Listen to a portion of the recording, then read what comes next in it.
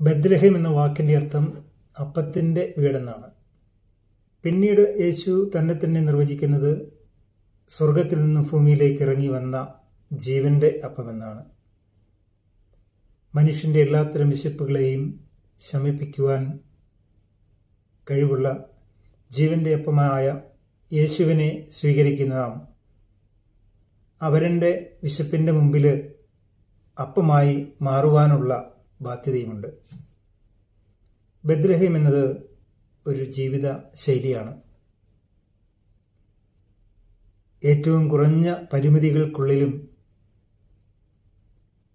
തൃപ്തി കണ്ടെത്തിയ ഒരു സ്ഥലമായിരുന്നു ബദ്രഹീം.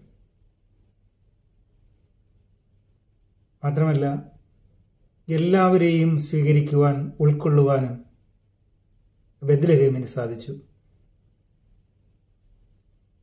വചനം മാംസമായി മാറിയ സ്ഥലമായിരുന്നു ബദ്രഹേം ഈ ക്രിസ്മസ് സമാഗതമാകുമ്പോൾ നമ്മുടെ ജീവിതത്തിലും വചനം മാംസമായി മാറുവാൻ മാറുന്നുണ്ടോ എന്ന് നാം ചിന്തിക്കണം.